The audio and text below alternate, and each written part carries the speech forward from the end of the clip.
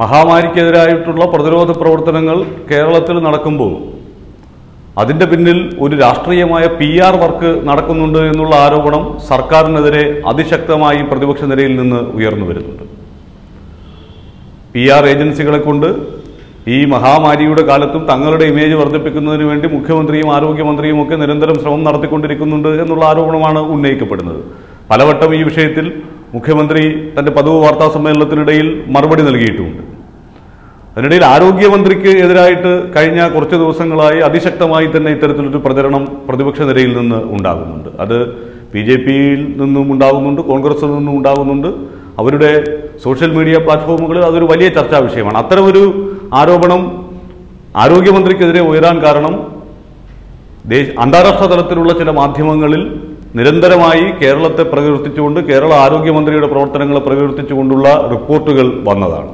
അതുമാത്രമല്ല B B C global അടക്കമുള്ളവർ ശൈലജ ടീച്ചറെ വിളിച്ച് ചർച്ചയിൽ പങ്കെടുപ്പിച്ച് കേരള മോഡലിനെ കുറിച്ചുള്ള വിശദമായിട്ടുള്ള അവലോകനങ്ങൾ നടത്തുകയുമുണ്ടായി. ദ ഗാർഡിയൻ വളരെ വിശദമായ മറ്റൊരു റിപ്പോർട്ട് എഴുതി. ആ റിപ്പോർട്ടിനെ അനുകൂലിച്ചുകൊണ്ടാണ് ആ റിപ്പോർട്ട് ട്വീറ്റ് ചെയ്തുകൊണ്ടാണ് ശശി തരൂർ നമ്മൾ കേരളത്തെ മാതൃകയാക്കണം എന്നുള്ള ഒരു ട്വീറ്റ് ഇടുന്നതും അത് സി പി എമ്മുകാർ തന്നെ വലിയ തോതിൽ ആഘോഷിക്കുകയും ഒക്കെ ചെയ്തു. പ്രതിപക്ഷ നിരയിൽ നിന്ന് പോലും ഇതാ ശൈലജ ടീച്ചർക്കുള്ള അംഗീകാരം എന്നുള്ള നിലയിൽ.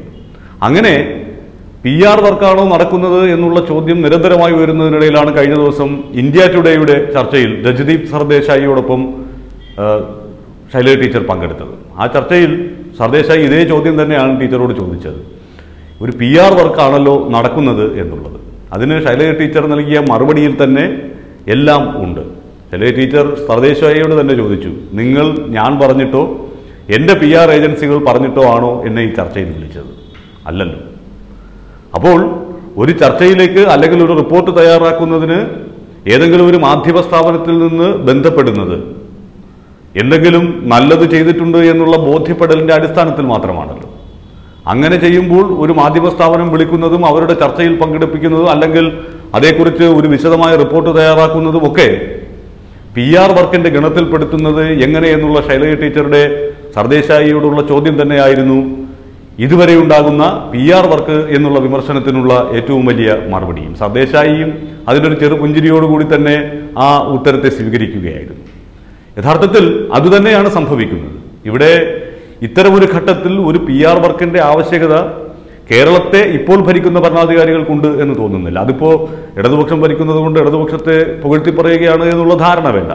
ഇപ്പോൾ ഉമ്മൻചാണ്ടിയാണ് ഇവിടെ ഭരിച്ചിരുന്നതെങ്കിൽ അല്ലെങ്കിൽ രമേശ് ചെന്നിത്തലയാണ് ഭരിച്ചിരുന്നതെങ്കിൽ ഇത്തരമൊരു പ്രതിസന്ധി ഘട്ടത്തെ അവർ അങ്ങനെ നേരിട്ടിരുന്നുവെങ്കിൽ ഇതുപോലെ നേരിടാൻ അവർക്ക് സാധിക്കുമായിരുന്നുവെങ്കിൽ സ്വാഭാവികമായി അതിനുള്ള പിന്തുണ മാധ്യമങ്ങളുടെ ഭാഗത്തു നിന്നുണ്ടാകും. ഇതൊരു ആഗോള പ്രതിസന്ധി ആയതുകൊണ്ട് കേരളം പോലുള്ള ഒരു സംസ്ഥാനം കാരണം കേരളം പോലുള്ള ഒരു സംസ്ഥാനത്തെ പെട്ടെന്ന് ലോകമാധ്യമങ്ങൾ ശ്രദ്ധിക്കാനുള്ള ഒരു കാര്യം ലോകത്തിന്റെ ഏത് കോണിൽ പോയാലും മലയാളികൾ ഉണ്ട് എന്നുള്ളത് തന്നെയാണ്.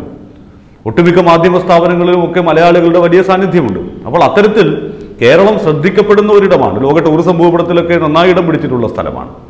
അങ്ങനെയുള്ള കേരളത്തിൽ ഇത്തരത്തിൽ പ്രതിരോധ പ്രവർത്തനങ്ങൾ ഏറ്റവും സജീവമായി നടക്കുന്നു എന്നുള്ള റിപ്പോർട്ടുകൾ നമ്മുടെ ദേശീയ മാധ്യമങ്ങളിലൊക്കെ നിരന്തരമായി വരാൻ തുടങ്ങിയതോടുകൂടിയാണ് അന്തർദേശീയ മാധ്യമങ്ങളും അതിനെ ശ്രദ്ധിക്കാൻ തുടങ്ങിയത്. അത് തുടർച്ചയാണ്. അതിനകത്ത് പ്രത്യേകിച്ച് ഒരു പി ആർ ഏജൻസി പോയി ദ ഗാർഡിയനോട് പറയുകയാണ് നിങ്ങൾ കേരളത്തെക്കുറിച്ച് റിപ്പോർട്ട് തയ്യാറാക്കണം എന്ന് പറഞ്ഞാൽ അങ്ങനെ കണ്ണുമടച്ച് ഒരു റിപ്പോർട്ട് തയ്യാറാക്കാൻ മാത്രം ബധിര ജേർണലിസം ചെയ്യുന്നവരല്ല. ഈ ദ ഗാർഡിയൻ എന്നൊക്കെ പറയുന്ന സ്ഥാപനം എന്നുള്ളതാണ് നമ്മൾ ആലോചിക്കേണ്ടത്.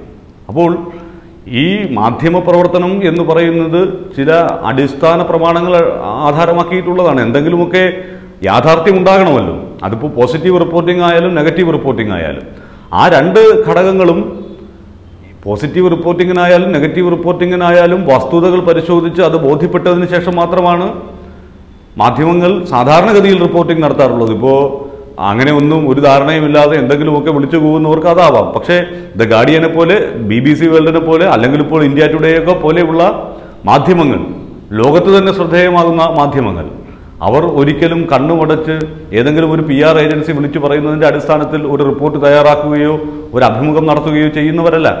ബി ബി സി വേൾഡിന്റെ ചർച്ചയിലൊക്കെ ശൈലജ ടീച്ചറെ പങ്കാളിയാക്കുന്നു എന്ന് പറയുന്നത് തന്നെ നമുക്കുള്ള ഒരു വലിയ അംഗീകാരമാണ്. ഒരു ചെറിയ സംസ്ഥാനത്തിന്റെ ആരോഗ്യമന്ത്രി കേരളം ഈ ഒരു വിഷയത്തിൽ മാതൃകാപരമായ പ്രവർത്തനം കാഴ്ചവച്ചിട്ടുണ്ട് എന്നുള്ള കാര്യത്തിൽ ഒരു സംശയവുമില്ല. ശൈലജ ടീച്ചർ മീഡിയ വണ്ണിന്റെ ചർച്ചയിൽ ബി ജെ പി നേതാവ് ബി ഗോപാലകൃഷ്ണനോട് പറഞ്ഞത് തന്നെ അതിനകത്തുള്ള ഒരു വലിയ ശരിയാണ്. വല്ലാതെ അങ്ങ് അണ്ടർ എസ്റ്റിമേറ്റ് ചെയ്യരുത്. നല്ല പ്രവർത്തനങ്ങൾ നടത്തുമ്പോൾ അതിനുള്ള അംഗീകാരങ്ങൾ വഴിയേ വരും.